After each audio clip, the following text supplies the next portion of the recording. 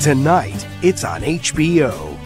At 8, a new movie every Saturday night, America Ferrera, the HBO films, Real Women Have Curves, at 9.30, a Saturday premiere, Charlize Theron, Trapped, and at 11.30, the HBO original series, Carnivale. Real Women Have Curves, Trapped, and Carnivale. HBO is on tonight.